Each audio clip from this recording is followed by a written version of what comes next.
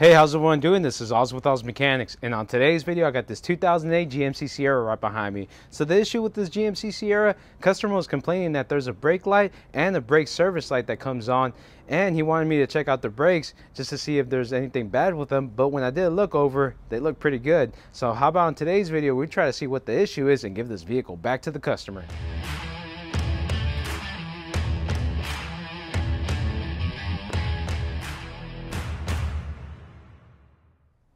All right, we're inside the vehicle and I just want to show you which light he's talking about. So we kind of look right here, as you can see, uh, service brakes soon.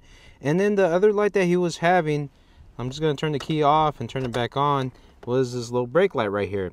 But he, what he was telling me is that on that one, the brake fluid would actually go low and he would fill it up and he just didn't know where it was going to. It would just keep on going down. I did do a, a, a, check real quick, and I was just verifying because these do have drum brakes, and they have brake cylinder that normally goes bad and it leaks out through there. But like when I did my first look around, I didn't see no leakage right there. So that's something that we have to look into. So now let's look at our actual scan tool, and let's see exactly what we have. So if we look at our scan tool right here,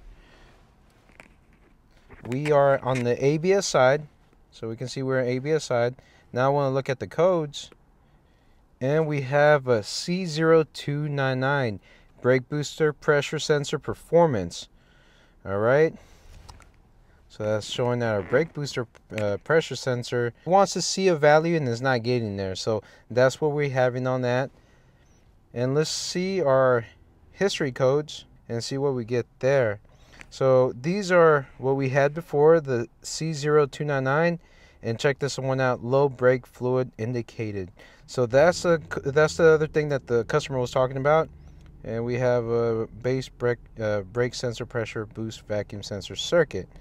All right, so what I want to do now, see if we have any data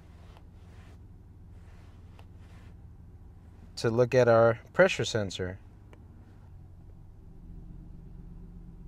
All right. Brake booster vacuum sensor and our pressure sensor. So let's turn this on. Let's see what we get. Let's see if we hit our brake pedal. All right, we got some difference right there.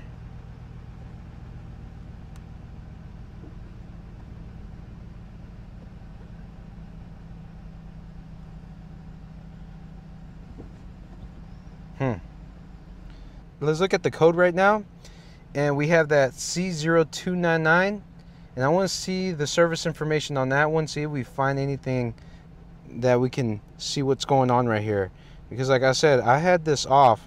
But remember, these uh, brake boosters, they do, they're accumulators. So they do uh, actually hold pressure in there. But let's check this out. Let's see what we find out when we look at service information. All right, before we start doing the checking out the service information, what I have right here, we're gonna take that off and we're gonna hear some vacuum in there. And as you can see, we still have 66.5. So I just want to verify that everything's good. So we're gonna release this. As you can hear, the vacuum's leaving. All right, well, look at that. Now dropped to zero. So it did hold enough pressure in there.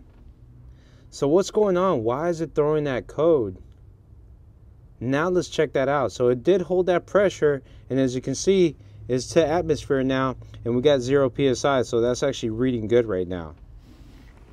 So let's go look at the service information and see what we can find out on this. All right, so as you can see, we're on ProDemand right now, and I did put the engine code C0299. And check this out, we have a TSB, awesome.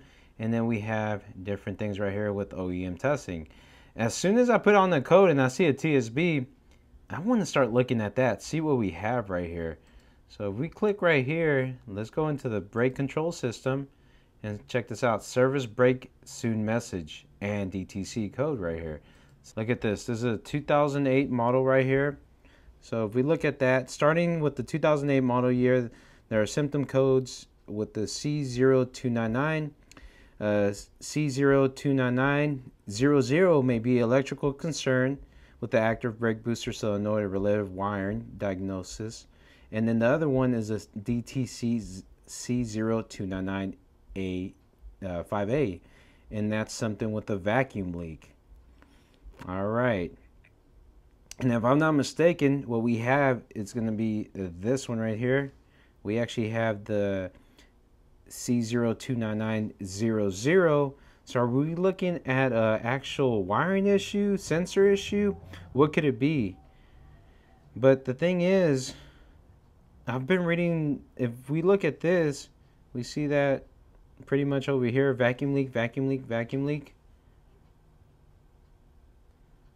Showing that these have a pretty good issue with these vacuum leaks. And we see right here, C0299 vacuum leak.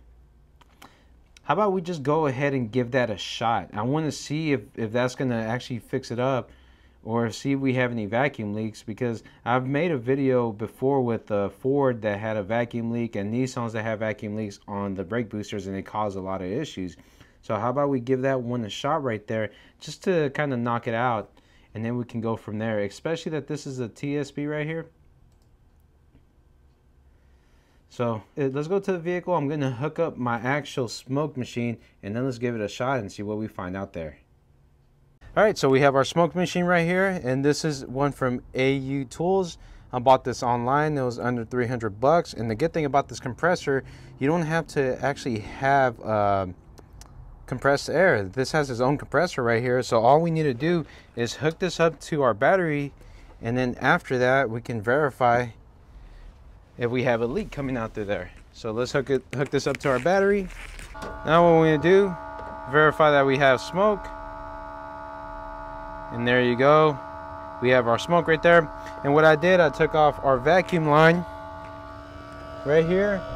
And we're gonna smoke this out and see what we get. So I'm just gonna kinda, let's move this to the side so it's not in our way.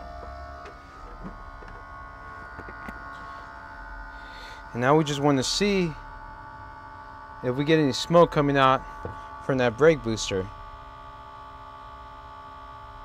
Probably gonna take a little while to build up. Oh, look at that right there. Check that out. So uh, guess what? I think this TSB was actually right. So we have a leak. Looks like it's coming out from the backside. Back here. Not sure. But you can clearly see right there. I don't know if you can see the smoke coming out from right here. It is pouring out right now. So is that going to be what's causing the code? Because like I said, the the actual sensor wants to see a certain amount and we're not getting that. And I don't know what the values are right now. But if we have a leak coming out from there, it's not gonna it's not gonna get to that value. So how about we go ahead and change this out and retest it because we can clearly see right here that we have a bad brake booster. Is it going to be this easy? We're going to check this out.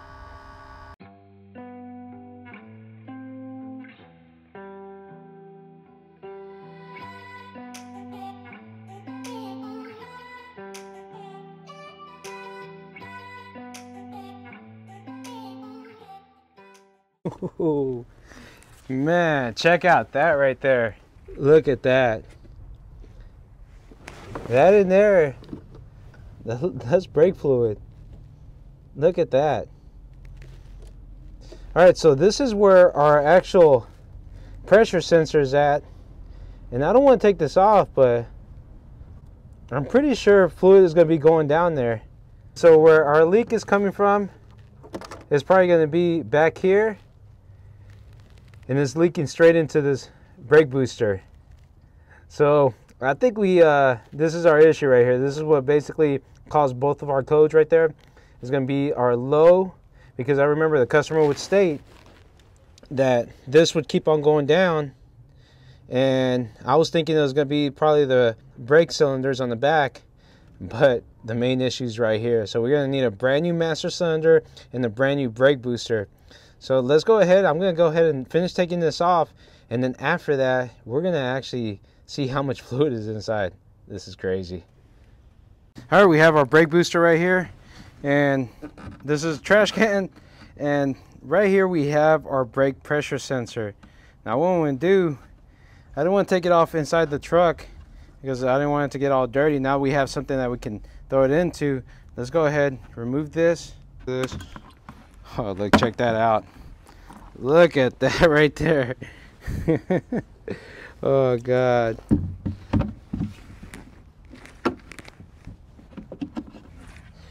All right, so this is our brake pressure sensor.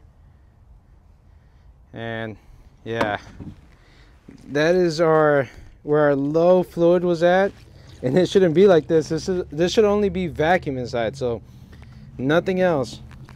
But we have brake fluid.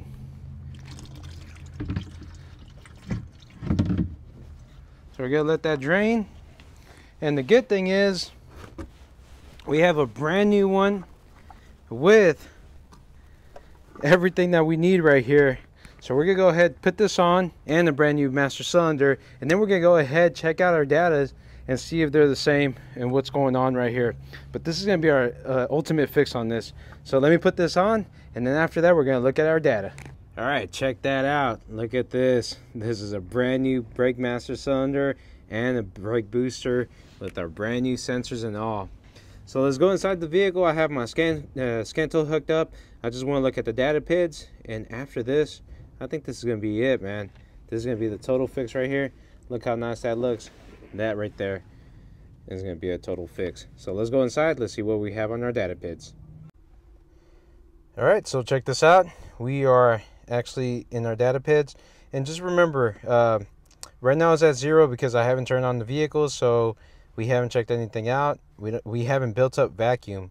Remember, our brake booster is basically a little reservoir. So let's go ahead turn this on. All right here we go. So as you can see it's basically the same psi that we had before. Gonna hit the uh, the brake pedal.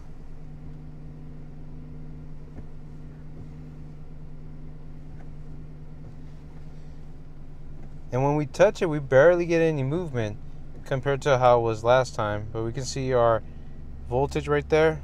So there you go I'm pretty sure this is going to be our fix. So if you do like this video, please put a big thumbs up. And don't forget to hit that little notification bell to get all brand new videos coming out from Oz Mechanics. Y'all take care. Of y'all have a nice day.